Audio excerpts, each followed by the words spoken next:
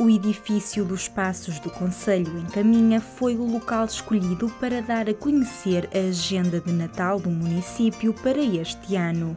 A contrastar com os anos anteriores, as várias associações, juntas de freguesia e comerciantes foram os responsáveis por apresentar as atividades que compõem a agenda natalícia. Esta é uma agenda de Natal extraordinária do Conselho de Caminha e é uma agenda de Natal que tem tudo a ver com a época de Natal, com a época que nós vivemos, mas também com este reforço de entidade do próprio Conselho de Caminha.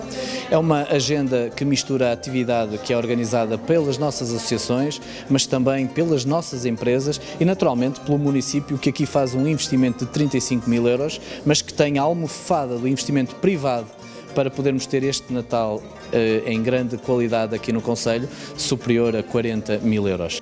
É já no próximo dia 28 que começam as atividades. Durante os 40 dias apresentados na agenda, decorrem dezenas de eventos, como a já conhecida pista de gelo, única no distrito, ou o passeio de Pai Natal em bicicleta.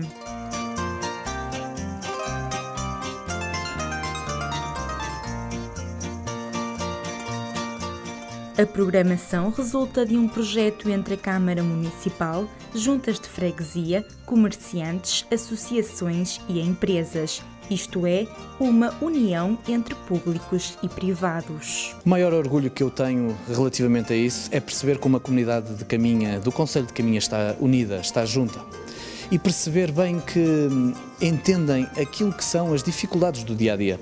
Hoje é impossível uma associação ou uma empresa assumir sozinha investimentos como este, mas também impossível uma Câmara Municipal, sobretudo uma Câmara como a nossa, que tem muitas dificuldades, sozinho suportar os custos de uma atividade como esta.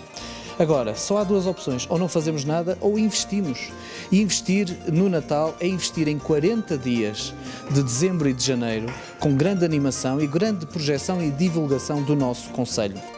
No final da apresentação, Miguel Alves deixou uma mensagem de Natal a todos os Alto Minutos. Eu quero desejar a todos, não só no Conselho de Caminha, mas por todo o Alto Minho, a todos aqueles que em cada Conselho trabalham para poder uh, fazer o melhor, a todos aqueles que têm o seu emprego e que lutam todos os dias para ter o seu emprego, a todos aqueles que têm momentos menos bons, que sofrem por razões familiares ou outras, a todos os que não têm saúde para poder aproveitar estes momentos, mas a todos aqueles que são da nossa comunidade Alto Minhota, de todos os conselhos, de todas as cidades, de todas as vilas e de todas as aldeias.